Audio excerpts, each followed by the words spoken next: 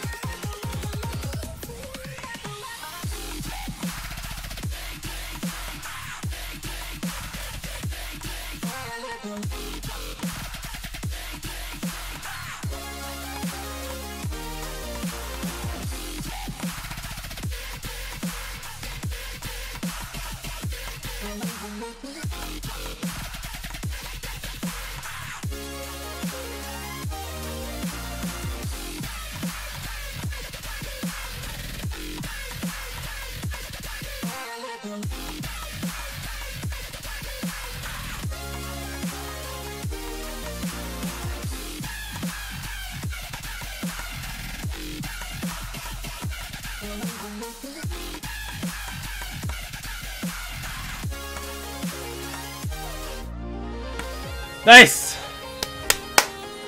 Okay. Love the art, especially uh the second part, especially.